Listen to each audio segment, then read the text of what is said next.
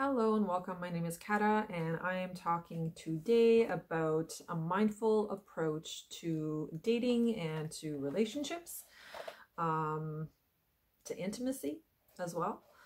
Uh, so before I get into the five steps, um, the five mindful steps in terms of how to approach a intimate or dating relationship, I would like to get into talking about some statistics that I did a little research on and found online.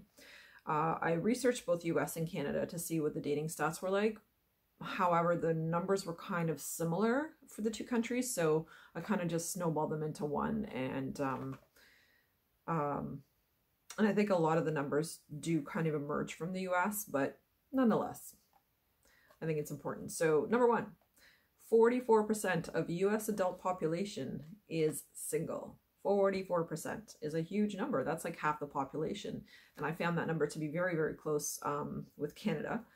So half the population, both in Canada and the US, is single. That's crazy when you think about it. Oh, a bunch of lonely people. Number two, uh, the average amount of time it takes to make a first impression on a man is 15 minutes. The average amount of time it takes to make an impression on a woman it is 60 minutes. So that I found interesting. It's quite a big difference. So for women, it takes about an hour, I think, before we kind of get an assessment of that individual. Where for a guy, 15 minutes is pretty sufficient to kind of get a good read, I guess. Um, number three, 12 there's a 12% chance of the guy calling. Oh, okay, sorry. So there's a 12% chance of the guy calling you after the first date if he hasn't called within 24 hours. This means that you actually only have 12% chance of getting called if he did not call you back in the first 24 hours. This is a statistic that kind of blew my mind too. It's like, wow, if so if a guy's not going to call in the first 24 hours, then he's probably not going to call. But there is a 12% chance that he will. Keep that in mind. Number four, 53% of people have dated more than one person simultaneously. That does not surprise me. This is something that I've heard of a lot of people doing. It's not something that I ever really did. Um, I was never, never really into that. And and quite frankly, I, I can't even like I just don't have that much energy to spread around. like if I'm gonna meet somebody, then I'm gonna take my time to just to meet that one person, try to get to know them um, before it proceeds any further, right? And I'm gonna try and do that with more than one. Oh hell no! But 53% of people decided yes, that is hell yes, something that they're gonna do, and have dated more than one person simultaneously, which is a little bit cringeworthy. 53%, it's a big number. Number five, 33% of women have sex on the first online dating encounter. And that kind of saddened me. I was like, whoa, 33% of women is a, it's a big number when you think about it, because we're talking about millions, right? Um, in terms of total population for the country. 33% of women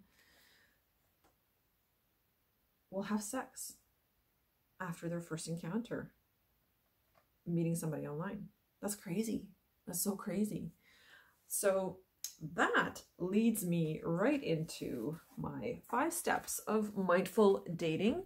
Um, because again, once I did this research and once I looked at the stats, I was kind of blown away, to be honest. I was very, very surprised. Um, it's certainly an issue that I've talked with clients about, um, especially the younger generations, like uh, the, the 20s, anyone in their 20s currently, um, and even teen, unfortunately. I think we're finding people are having sex younger and younger nowadays. But, um, you know, it's just a part of society. This is how things have been built up. And so because of that, I think it's very important that we talk about these five steps. So the very first one, because you want to approach ultimately, I think every intimate situation or dating situation from from a place of comfort and from a place of knowing who you are already. And I think it's important that we approach it from from like a non-emotional perspective. Like yes, it's very very exciting when we first meet someone and especially if we start dating them, especially if we really like them and we're very attracted to them, lots of chemistry. And then I get it, you know, people want to get straight to the good stuff, but it's not really serving for us. It really isn't. And I will get into some of the reasons as to why. So, step one is take your time to get to know the person. I think it's so important that we communicate much, much more and really talk and really express our feelings. I think that's something that has been missing in society. A lot of people are really afraid to express how they truly feel in any given situation. And I'm not saying like, you know, spew out I love you on the first date because that would be weird. But just simply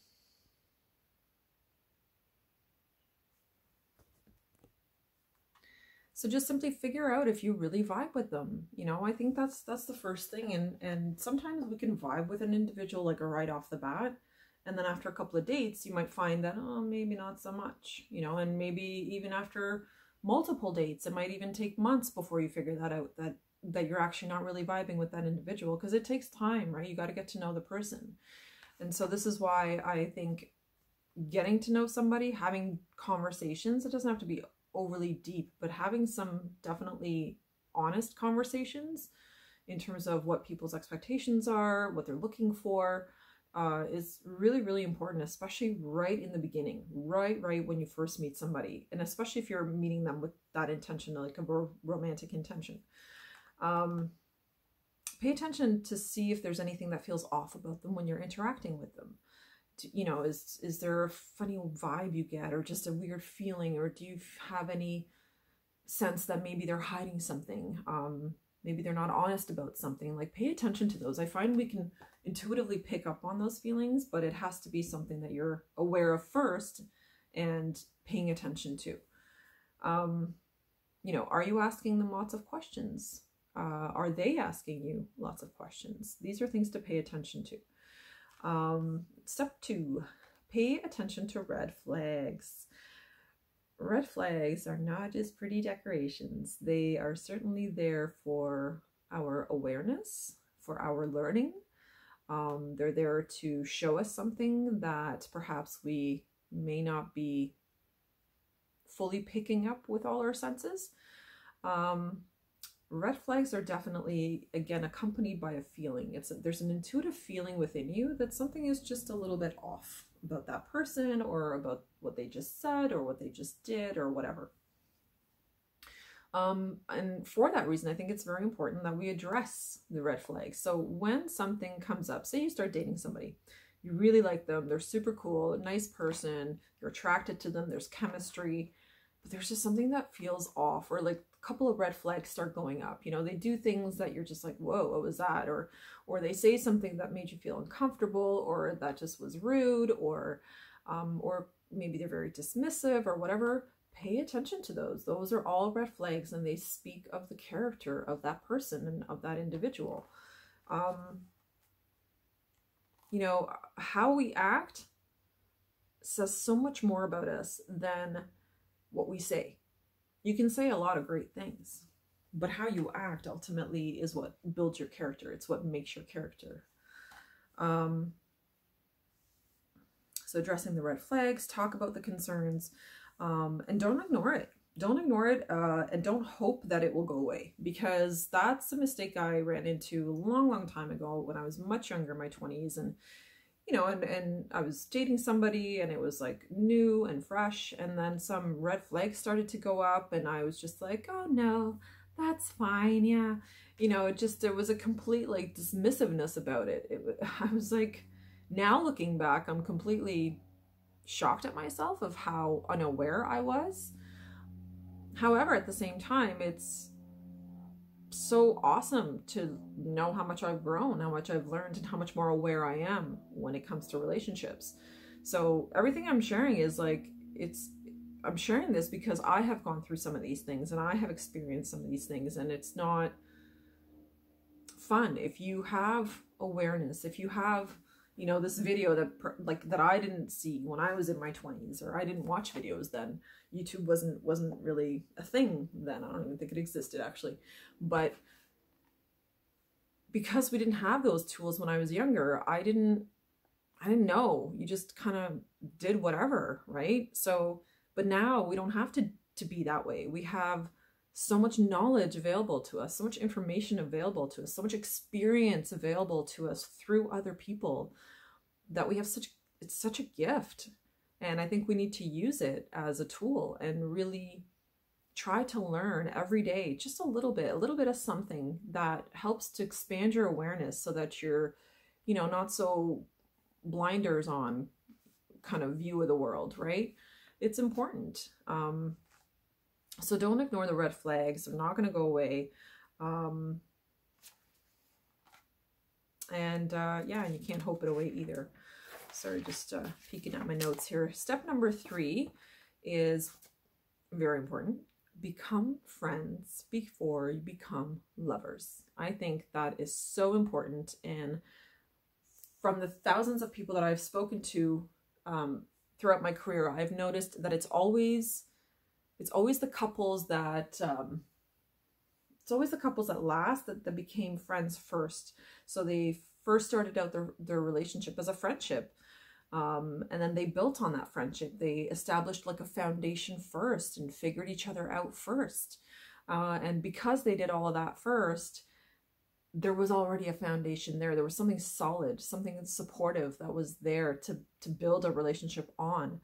Um, in some cases, you know, because I've seen that too, uh, the opposite end of the spectrum where where people just meet and it's like love at first sight and it's like they just hit it off right from the get-go and and that's awesome. That's awesome. But that's not the norm right? That's not the the average kind of reality that most people experience. It's the opposite. It's you know you, you they say what you kiss a bunch of frogs before you before you kiss your prince or find your prince or whatever so becoming friends before becoming lovers, I think, is the foundation to building a lasting relationship. For sure. I've also learned that. Um, step four, think before you smooch. And this is going to be a little bit uncomfortable, but I'm going to talk about it because I don't really hear anybody talking about this, to be honest, all throughout the internet because I look at a lot of different types of YouTube videos. I I'm constantly learning. I'm constantly absorbing information and and and trying to expand what I know and um, how I can help others.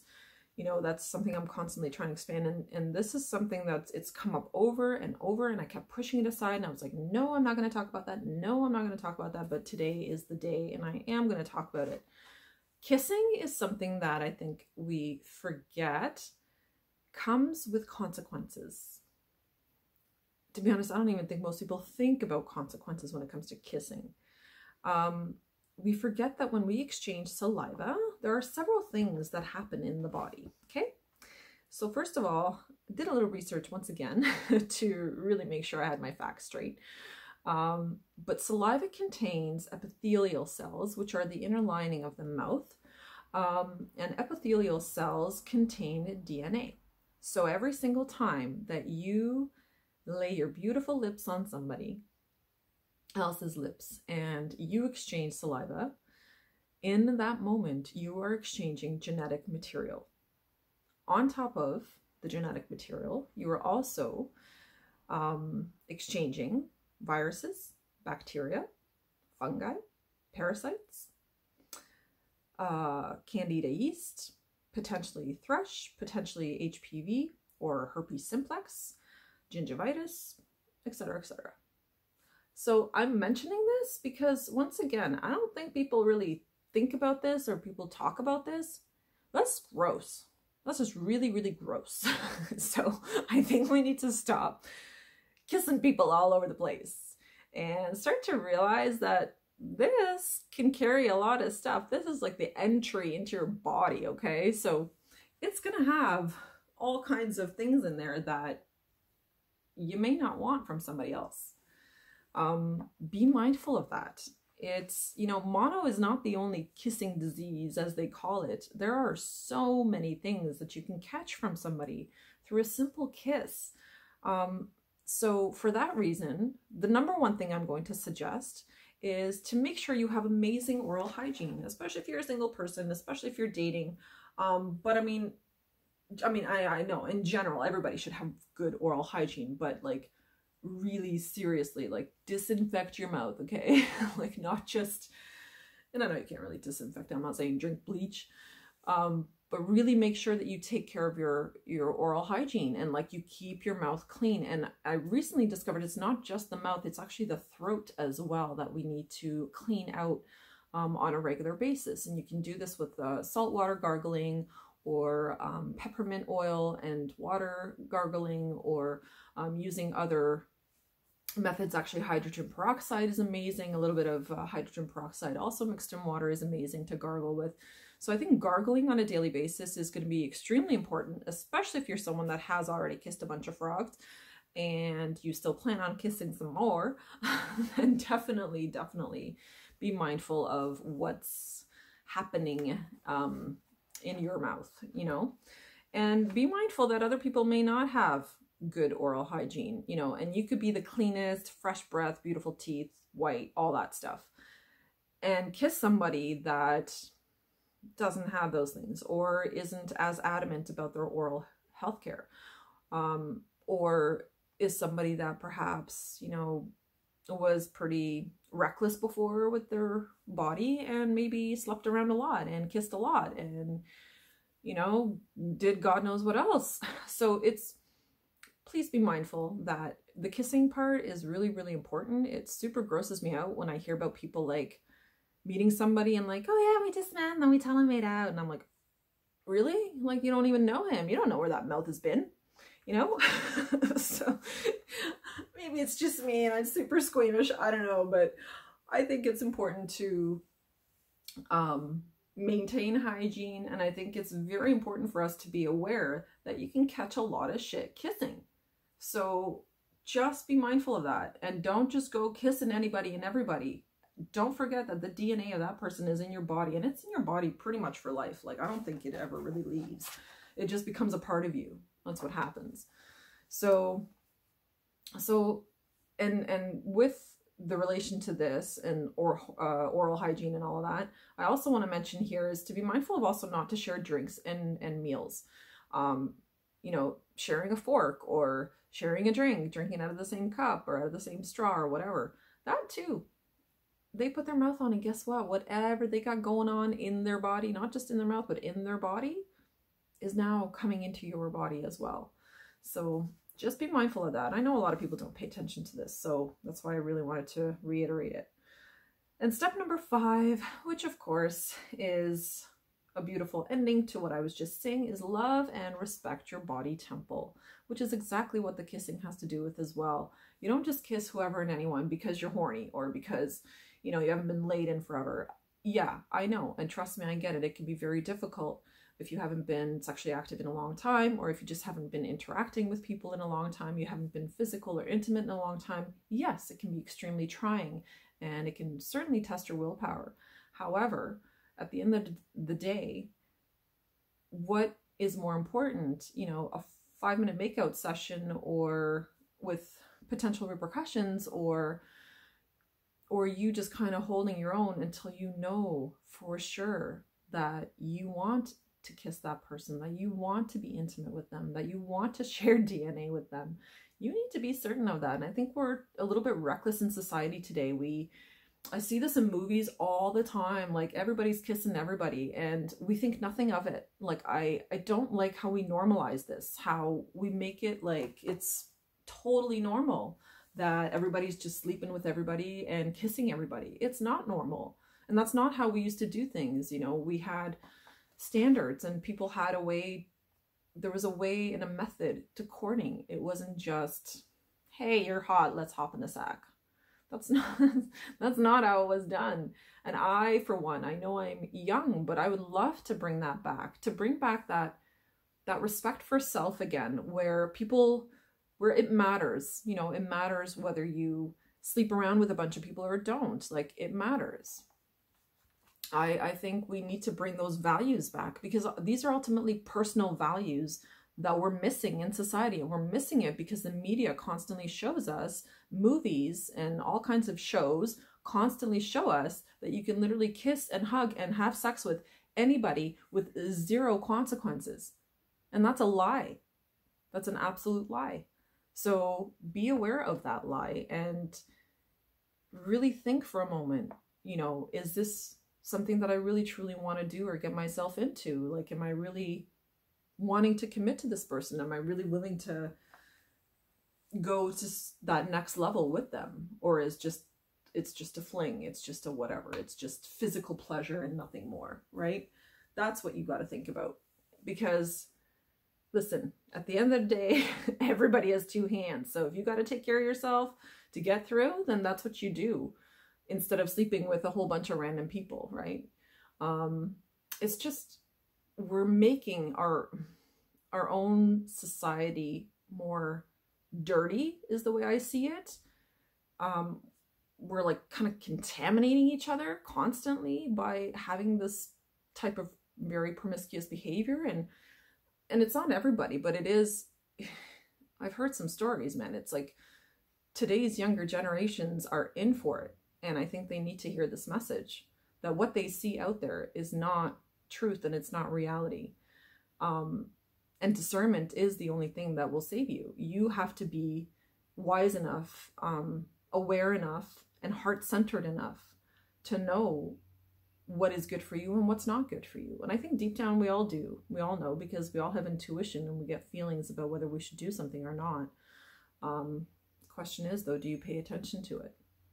So, you know, keep it clean, especially if you're dating. You know, just love and respect your body and keep it clean. Try to stay healthy, have really, really good oral hygiene, and don't sleep around and don't make out with 20 million people because it's gross, you know? so, that's my tip for you today. Um, and then the very, very last thing about the love and respecting the body temple, if you truly are ready to connect with somebody, like you genuinely want to be in a relationship and you're ready to commit, you're ready to to really go that next step with that individual, then set or just with anyone, like you're looking for that, set an intention to connect and to connect with the soul that is truly for your highest good and you for them. I think you can't go wrong if you just set that intention and and say to the universe out loud, you know, I'm I'm looking for that that soul connection, that person that truly is beneficial for my life and I for theirs. That intention will it will start, it will like put you on this path of aligning to a clear heart, a clear mind, one that is not contaminated with greed about the physicality, one that is not ego dominated, because the ego just wants pleasure, but the soul wants fulfillment. So I will leave you with that, and I hope this was helpful. Um, hopefully it uh, gives some single people something to think about and and uh, hopefully it'll motivate you to approach relationships and dating and intimacy with more discernment with more awareness. Um, it's not to say you can't have fun. Absolutely. Have fun. But just be mindful of who you share body fluids with so i will leave you with that Take care, guys. I love you all. I hope you um, take care of yourselves, and I will see you in the next one. Bye bye.